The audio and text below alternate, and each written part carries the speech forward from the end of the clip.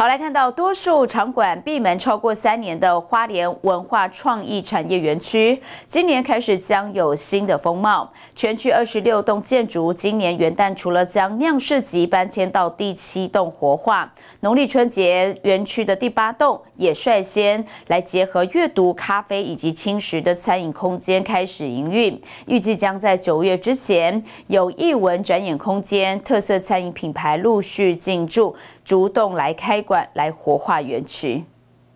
沉寂多时，多数场馆闭门超过三年的花莲文化创意产业园区，今年底前各场馆有望开门迎宾。为了让市集升级，今年元旦起将二零一三年开办的酿市集转型搬迁到第七栋室内进驻，而成为米酒制造厂后成为员工康乐中心的第八栋，则在今年春节初一率先以结合阅读、咖啡和轻食的乐见里八号阅览室，为花创园区带来久违的第一个室内用餐阅读营运空间。其成文创在今年开始，呃，我们会有零三栋到零九栋，而这第八栋。呃，是我们打开的第一个空间，叫八号阅览室，然后是以乐见里八号阅览室这样的名字出发。呃，园区大概已经关闭了将近三四年的时间，这是第一个打开的商业营运空间，但我们希望能够服务花莲在地的乡亲。采用杉木打造的地板、书架及餐桌椅，有二手家具的再利用、在地手工灯艺、绿色植栽的围绕，并以美好的生活体验作为选书主题，提供在地食材友善循环理念。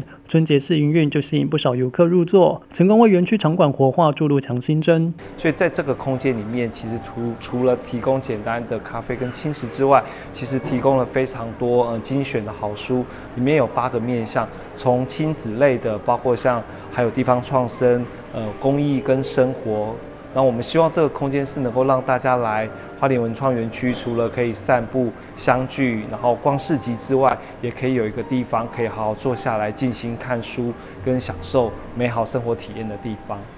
文化部去年七月委托财团法人台湾生活美学基金会进驻，已于去年十二月在第十栋带来直径十二米的半球形三百六十度沉浸式空间 Future Vision Lab，由启程文创股份有限公司进驻营运的第三至第九栋，将在九月前陆续开启，成为优先照顾花莲人需求，同时满足游客认识花东特色的乐见里，为花莲市打造第四十五个里。记者张邦彦，花莲市报道。